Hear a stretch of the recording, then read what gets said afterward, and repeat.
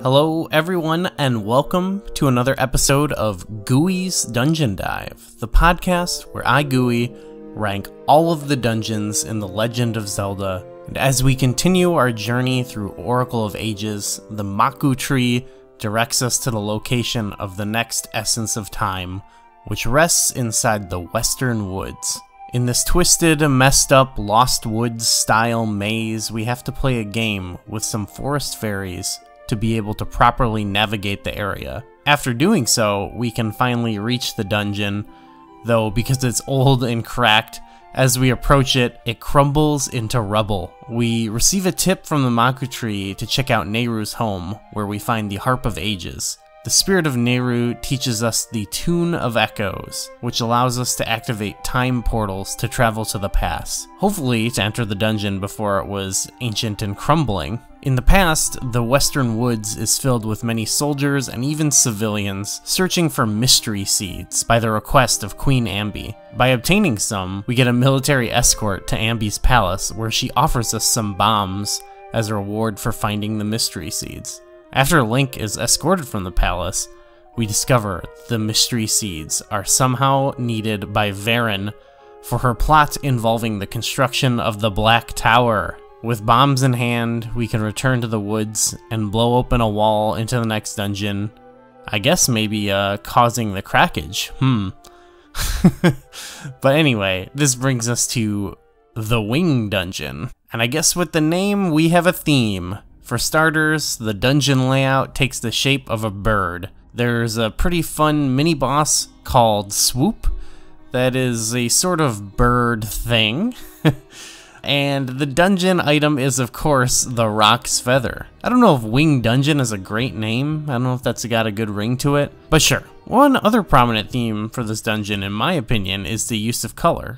In fact, you could have called this the Color Dungeon and gotten away with it. There are more elaborate color block pushing puzzles like the one we saw in the first dungeon. There's color statue based puzzles. And now with the use of Roc's Feather, there's color block changing puzzles. These techniques also get applied to the minecarts as some have these color based barricades that will block their path. And it's cool to see the minecarts reintroduced in, in Ages. It's slightly more advanced than their first use in Seasons in terms of the first dungeon in both, but uh, it makes sense. This is a bit more puzzle based. While being puzzle heavy, this dungeon has some nice navigation too. Definitely nicer than Spirit's Grave. It's appropriate for a second dungeon. Still some little bits of non-linearity with the key collection and usage. A few branching paths, some non-linearity and backtracking mixed in it's a it's a nice little uh, recipe. You know, you throw in the non-required items, and it spices things up. Uh, it's the classic 2D based techniques at play, almost a almost a formula they're working with here. The bombs gifted to us by Queen Ambi also get some play here. There are some bombable walls that aren't too tough to spot, but it really all comes together with the final boss, Head Thwomp. Along with the bombs, this Mario look-alike also incorporates color and Roc's Feather.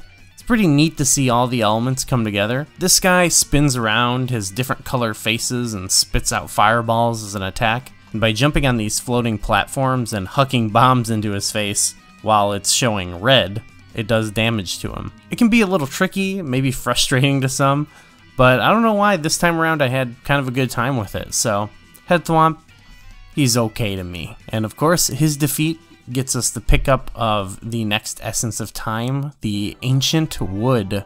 It whispers only truth to closed ears from out of stillness. And there we go.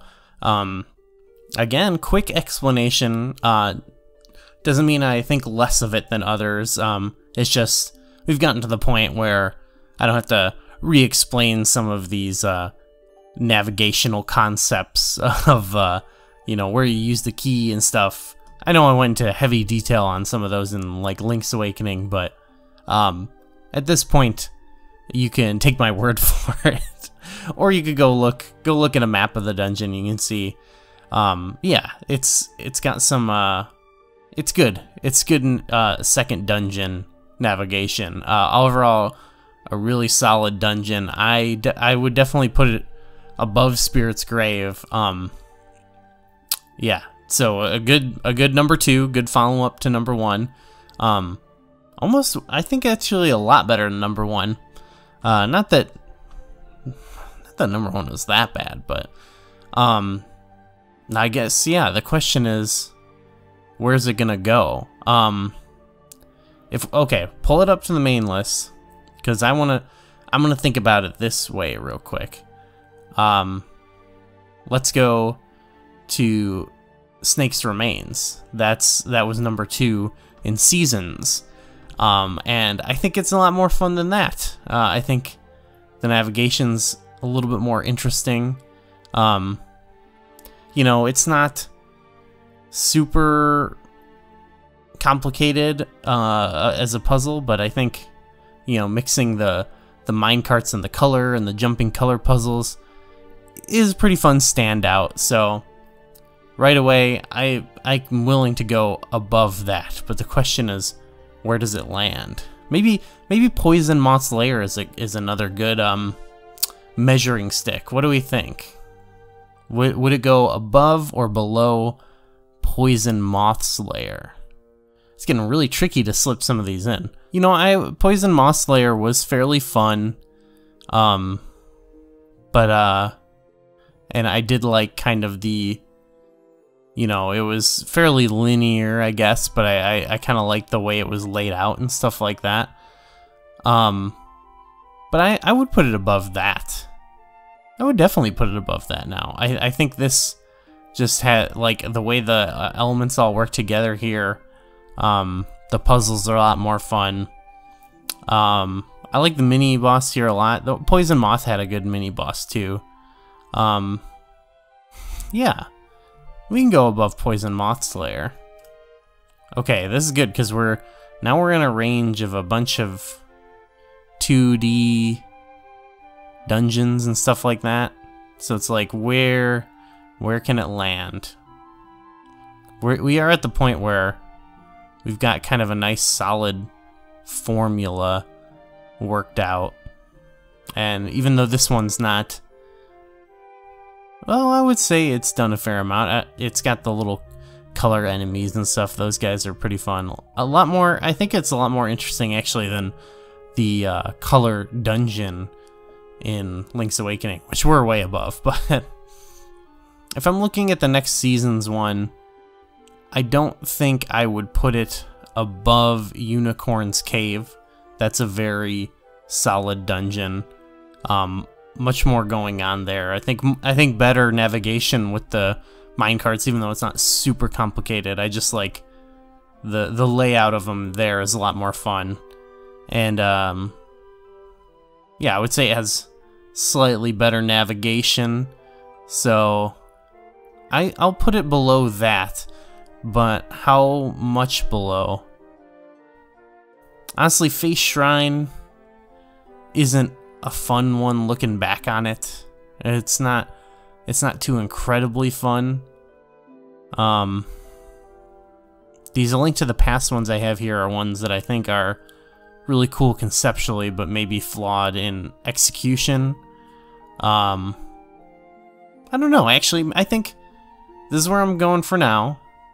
Call me crazy, because this is a big shoot up compared to uh, the seasons ones, but just generally found this very pleasurable. Um, I think I'm gonna go above Face Shrine and below Unicorn's Cave. Um, yeah, because I think, yeah, I think it's a, just a really solid number two. Um, and yeah, it makes sense. It comes after the first dungeon in Link's Awakening, which I liked a lot. Um, definitely better than the second dungeon in Link's Awakening, in my opinion yeah, I don't know. I, I was just playing it and I was like, this is a this is a good one. Um, you know, a lot of cool co concepts that kind of mix together well. Um, music's not bad in that one. I didn't really mention it. It is in the 25 spot, which could mean good stuff for the rest of the game. Because, you know, like Seasons, it took a few to hit its stride, and then once it did, it was crushing it. Um, I don't know if that's I don't know. I don't know what happens here um with these dungeons. I guess we'll see. We'll see if it can uh maintain or if it'll drop off or or what. But um, we had a weaker start, but then once the ball got rolling, we're we're kicking. So let's see, let's see. It feels maybe a bit uneven so far, but um, yeah, I guess we will find out next week as we make our way to Tokay Island.